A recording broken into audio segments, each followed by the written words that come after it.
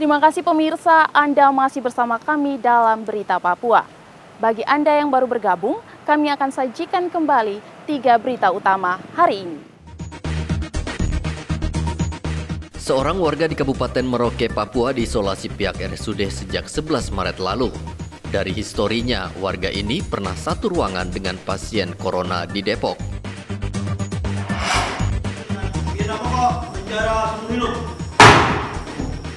Jual amunisi untuk kelompok bersenjata seorang anggota TNI difonis penjara seumur hidup dan dipecat. Seorang petugas kebersihan di Merauke, Papua dibacok orang tak dikenal. Pelaku masih dalam pengejaran aparat.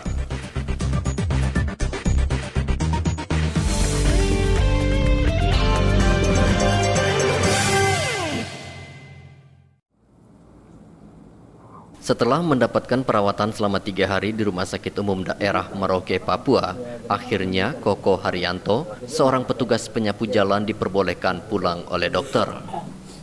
Sebelumnya Koko Haryanto dibacok orang tak dikenal saat sedang membersihkan jalan. Beruntung Koko diselamatkan anggota POM Angkatan Darat Merauke yang melihat Koko meminta pertolongan. Waktu itu saya jam 5 lebih, nggak tahu lebihnya beberapa nggak tahu. Nggak tahu lebih dua menit atau menit nggak tahu. Jam 5 aja. Nah pas begitu ada orang naik motor, berhenti ada 20 meter dari tempat saya berdiri.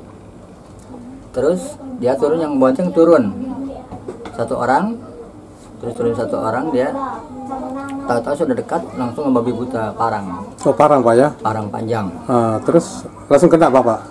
Enggak, enggak begitu kena pertamanya. Saya tangkis ya pakai sapu lidi aja seadanya lah. Tadinya kan mau ngejar mamanya. Saya tangkis pakai sapu lidi. Berapa kali bacokan lah. Ya pertama kena pegangan sapu kan Mm-mm. sebesar begini pak lah. Mhm. Sebesar jempol kaki. Nah itu putus kena udah kena cincang. Hmm. Kena ke sini langsung. Pas begitu kena, karena dia belum puas juga, nendang-nendang, terus nusuk sampai ke kelopak ini. Ini pak ya? Tadinya mau ke sini Ah, kayaknya gitu. gitu lah, tapi nggak tahu lah gitu. Itu Kepolisian Resort Merauke terus melakukan pengejaran terhadap para pelaku pembacokan. Eh, kalau kita melihat bahwa itu adalah kriminal murni ya kita tidak bisa menyimpulkan itu mendesain atau apa tapi yang jelas bagaimana kita upaya kita untuk meminimalisir ataupun menghilangkan sama sekali kejadian-kejadian tersebut dan kita sudah mengerahkan segala kekuatan yang kita bisa untuk mengantisipasi kejadian-kejadian serupa terulang kembali. Diduga motif pelaku membacok korban untuk merampok karena saat kejadian pelaku mengincar tempat sepi dan masih gelap. Muhammad Ridwan melaporkan dari Merauke, Papua.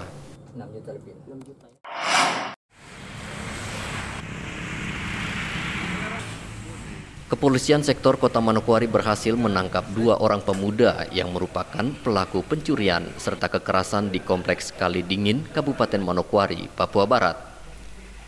I dan H kerap kali mengincar handphone milik pengendara dalam setiap aksinya di tempat sepi. Hasil pencurian juga langsung dijual dan hasilnya dipakai untuk pesta miras. Kapolsek Kota Manokwari, Ibtu Hani Salamena menghimbau warga Manokwari agar waspada, apalagi pelaku mengincar pengendara wanita. Nah, kalau terduga pelaku lainnya, ini sementara yang kita interogasi yang kita dapat keterangan dua. Namun untuk pelaku-pelaku jambret yang lain kami sudah kantongi. Kami akan kejar. Yang tidak. Barang bukti yang kami amankan yaitu sepeda motor yang dikendarai oleh dua pelaku aktivitas aktivitas senjata kemarin.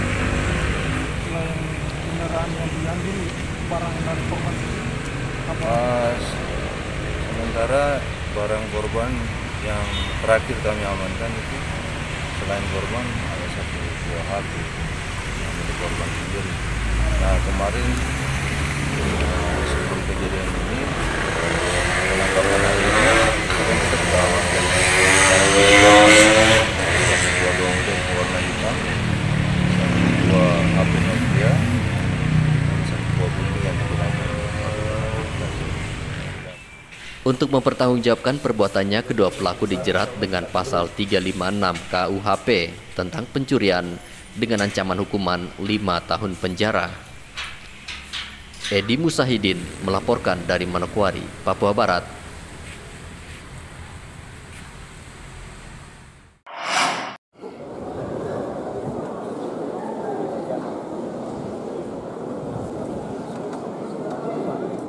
Ribuan warga Merauke mendaftar menjadi relawan PON 2020 yang akan dilaksanakan pada Oktober mendatang.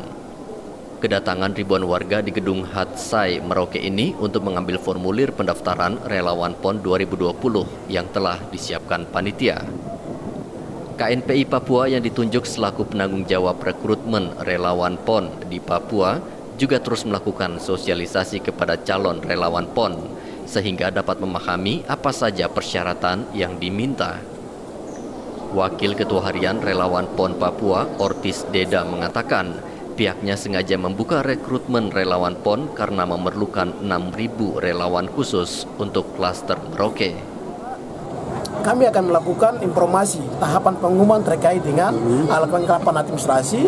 Yang kedua, kita akan menyampaikan yang berikut yaitu pengumuman tahapan administrasi terkait siapa yang lolos dan siapa yang tidak lolos. Dan yang ketiga, kami akan melakukan tahapan yang selanjutnya itu tahapan uh, ujian. Ujian, ya. ujian dari mana pemahaman topoksi dari setiap bidang, 12 bidang. Sehingga topoksi pemahaman dari setiap pelamar harus mampu melakukan tugas-tugas relawan di 12 bidang yang uh, sudah menjadi pilihan dari para pelamar relawan. Nantinya ribuan relawan PON yang akan direkrut akan membantu panitia besar PON 2020 dalam bidang kesehatan, teknologi, transportasi, konsumsi, dan akomodasi. Muhammad Ridwan melaporkan dari Merauke, Papua.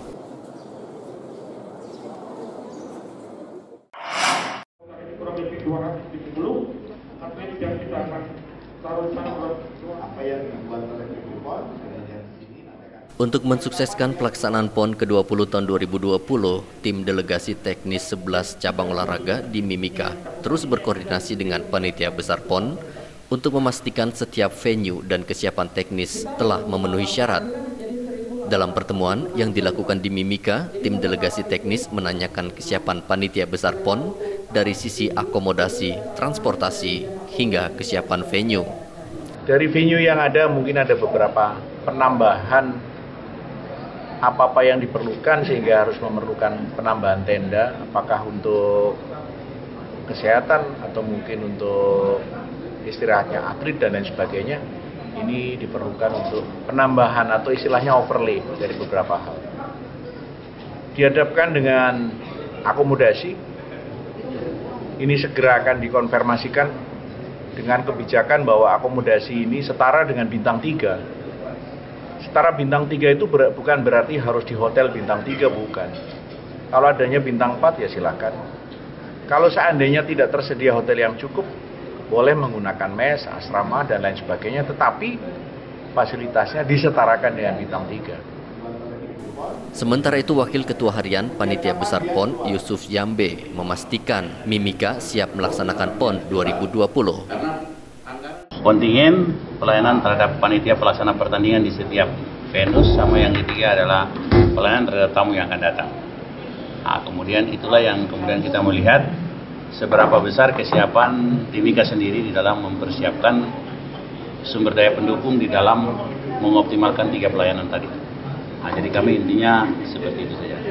Nah, sementara secara teknis bagaimana bidang-bidang di SPBI PON itu bisa optimal Tentu ada persiapan yang sudah dilakukan oleh Timika, ada persiapan yang sudah dilakukan oleh uh, PB PON sendiri, Timika dalam hal ini sebagai sub PB PON. Nah, persiapan-persiapan itu yang dalam rapat ini kita lihat, kemudian kita uh, lakukan overlay antara data yang sudah disiapkan oleh sub PB sama data yang sudah disiapkan oleh PB PON. Dalam pelaksanaan PON 20, Kabupaten Mimika mendapat bagian 11 cabang olahraga yang akan dipertandingkan sejak 20 Oktober hingga 4 November nanti. Dari Timika, Papua, Igo Batmomolin melaporkan. Pemirsa, informasi tadi sekaligus mengakhiri jumpa kita dalam Berita Papua. Saya Gracila Taime mewakili seluruh kru kerabat kerja yang bertugas menyampaikan terima kasih, selamat beraktivitas, sampai jumpa. Wanyambe.